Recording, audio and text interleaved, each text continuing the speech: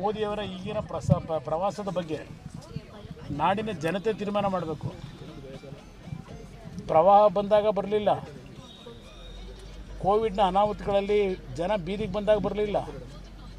ಇವತ್ತು ಇಲ್ಲಿ ಬಂದು ಸಫಾರಿ ಡ್ರೆಸ್ ಹಾಕ್ಕೊಂಡು ಸಫಾರಿ ಮಾಡೋಕ್ಕೆ ಬಂದವ್ರೆ. ಇದರಿಂದ ಯಾವ ಬಡವರಿಗೆ, ಯಾವ ಕರ್ನಾ, ಕನ್ನಡಿಗರಿಗೆ ಅನುಕೂಲ ಆಗ್ತದೆ? ವನ್ಯಜೀವಿಗಳನ್ನು ರಕ್ಷಣೆ ಮಾಡಬೇಕು, ಒಪ್ಕೋತೀನಿ ನಾನು. ವನ್ಯಜೀವಿಗಳನ್ನ ರಕ್ಷಣೆ ಮಾಡೋದ್ರ ಜೊತೆಗೆ ಮಾನವರನ್ನ ರಕ್ಷಣೆ ಮಾಡಬೇಕಲ್ಲ. ಈಗಾಗಲೇ ಕಳೆದ ಐದಾರು ತಿಂಗಳಲ್ಲಿ ಎಷ್ಟು ಜನ ಇವತ್ತು ವನ್ಯಜೀವಿ ಜೀವಿಯ ಒಂದು ಪ್ರಾಣಿಗಳ ದಾಳಿಗೆ ಎಷ್ಟು ಜೀವಹಾನಿಯಾಗಿದೆ ಆ ಕುಟುಂಬಗಳ ಪರಿಸ್ಥಿತಿ ಏನಾಗಿದೆ? ಯೋಚನೆ ಮಾಡಲಿಕ್ಕೆ ಯಾವುದಾದ್ರೂ ಒಂದು ಕುಟುಂಬಕ್ಕೆ ಭೇಟಿ ಮಾಡ್ತಕ್ಕಂಥ ಪ್ರೋಗ್ರಾಮ್ ಹಾಕೊಂಡ್ರ ಪ್ರಧಾನಮಂತ್ರಿಗಳು ಬಂಡೀಪುರಕ್ಕೆ ಹೋಗ್ತಾವ್ರೆ. ಸಂತೋಷ. ಹುಲಿನೂ ಸಂರಕ್ಷಣೆ ಮಾಡಲಿ, ಐವತ್ತು ವರ್ಷದ ಇತಿಹಾಸ ಇದೆ. ಅದು ಒಂದು ಭಾಗ. ವನ್ಯಜೀವಿ ರಕ್ಷಣೆ ಮಾಡ್ತಕ್ಕಂಥದ್ದು. ಇಲ್ಲಿ ವನ್ಯಜೀವಿಗಳ ದಾಳಿಯಿಂದ ಸತ್ತಿರ್ತಕ್ಕಂಥ ಯಾವುದಾದ್ರೂ ಕುಟುಂಬಕ್ಕೆ ಕನಕರ ಹೇಳಲಿಕ್ಕೆ ಬಂದ್ರ? ಆ ಕುಟುಂಬದ ಪರಿಸ್ಥಿತಿಗಳೇನಾಗವೆ ಅಂತ ಯೋಚನೆ ಮಾಡಿದ್ದಾರಾ?